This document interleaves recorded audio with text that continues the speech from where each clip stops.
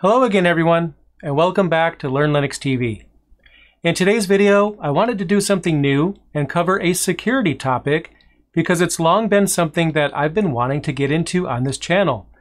And now that this channel is basically being rebranded as a version 3.0, as I like to call it, I wanted to basically test the audience and see if you guys want to hear more about security. So in today's video, what I'm going to do is talk to you guys about a very specific vulnerability, which is CVE number 2020-1971, and it actually has to do with OpenSSL, which is kind of a big deal. And why is it a big deal, you might ask? Well, because OpenSSL is essentially the standard when it comes to SSL and TLS. It's essentially the means by which you can have HTTPS in your address bar and secure your web app. So when there's a bug in OpenSSL, that's a big deal because basically everyone uses it when it comes to SSL and TLS. Now for most IT administrators and security professionals alike, their biggest fear is to have their company's confidential and proprietary information leak onto the public internet.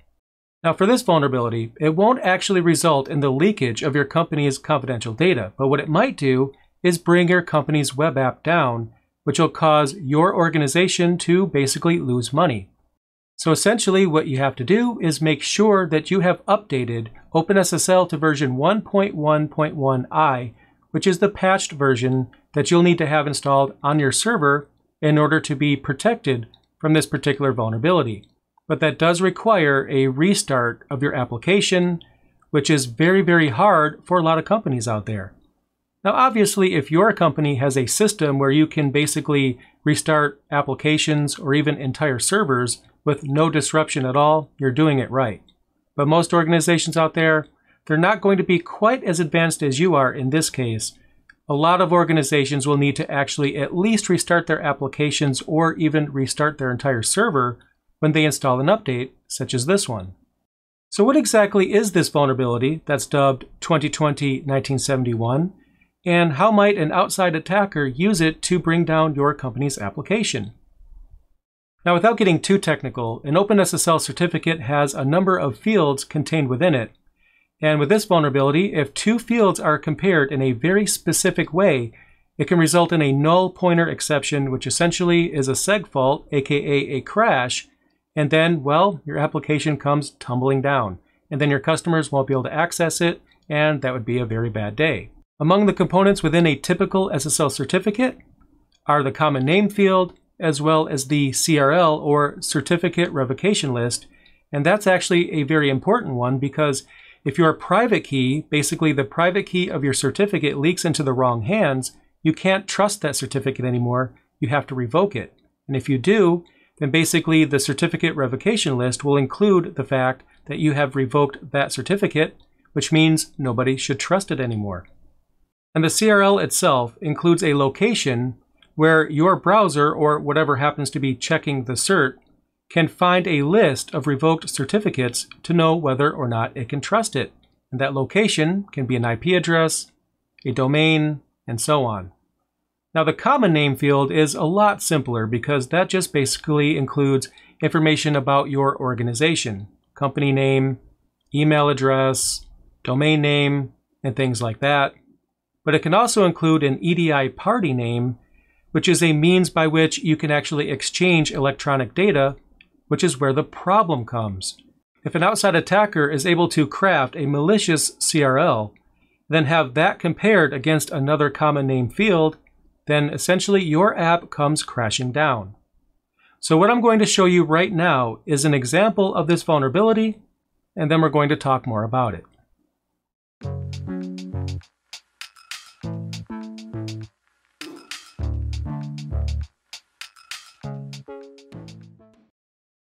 So here on my laptop, I have two tabs open, and they are both going to the same server.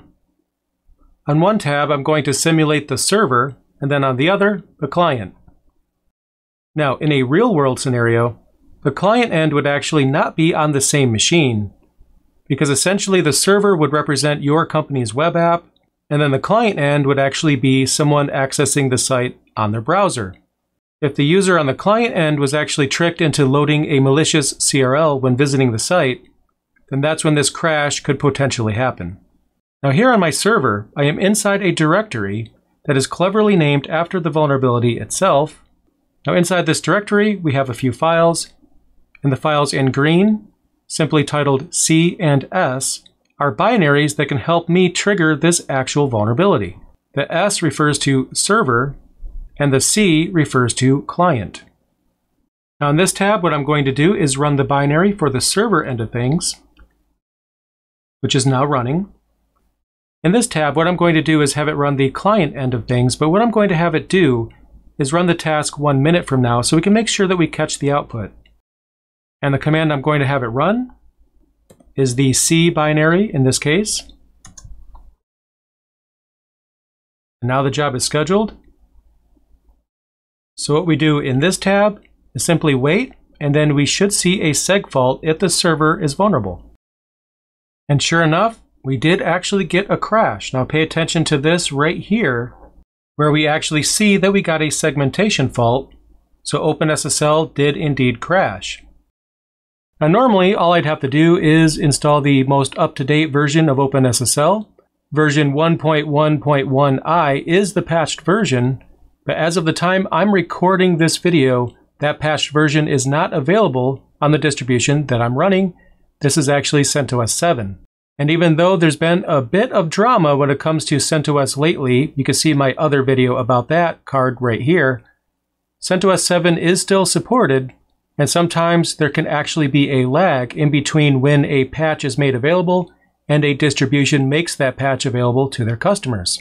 And when the patch does come out, then you'll either need to restart your application or your entire server which means that whether or not this vulnerability impacts you, at least in the terms of a hacker taking advantage of it to bring your application down, you still need to bring your application down yourself to patch yourself from this. So either way, this is something that could actually impact you.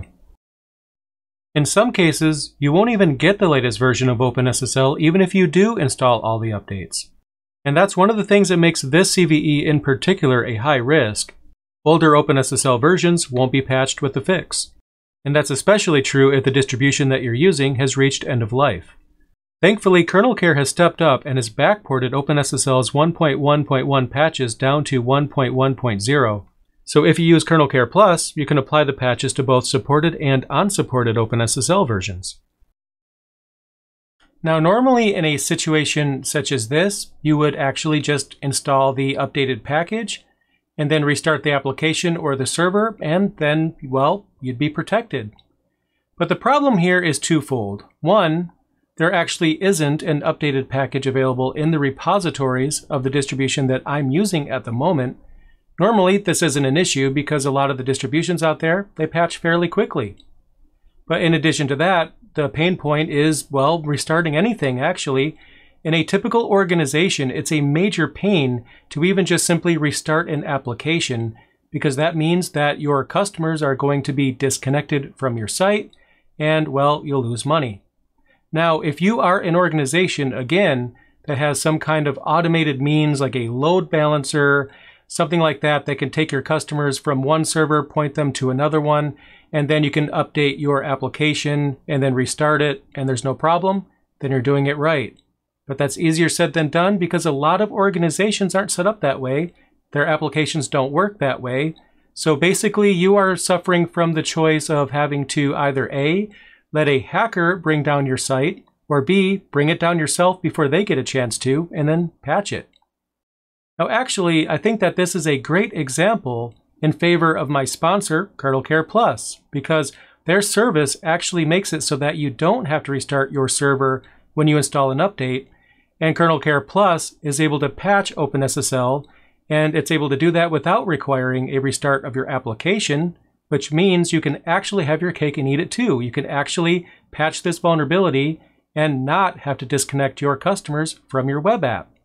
Now, whether you are using KernelCare Plus or you're doing it the old fashioned way and manually installing the patch and rebooting, you have to do something because as an IT administrator or security professional, security vulnerabilities are something that you have to deal with on basically a daily basis.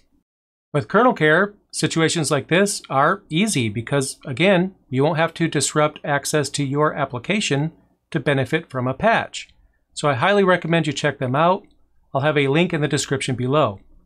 But either way, as an IT administrator, an IT professional, you have to do something, you have to keep up with these kinds of things, and this is content that I hope to make more of in the future.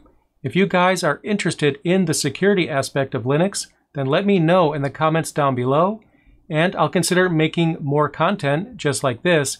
In fact, I've been thinking about doing an entire security series, and if that's something you want to see, definitely let me know. But in the meantime, make sure you subscribe because I have some awesome content coming very soon, including a Docker series that I'm very excited to unveil. I can't wait.